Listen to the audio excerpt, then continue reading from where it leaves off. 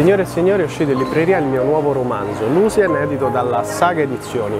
Questo è un romanzo che potremmo definire un thriller storico con venature soprannaturali.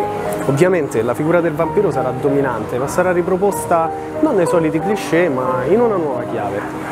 Un romanzo che si rifà molto a quelli del romanticismo, anche nella tipologia di scrittura. Io sto tentando di riportare in auge un lessico un po' perduto e e che mi ha sempre affascinato.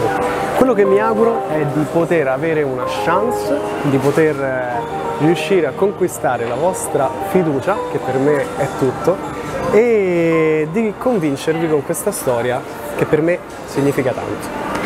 Un abbraccio grande.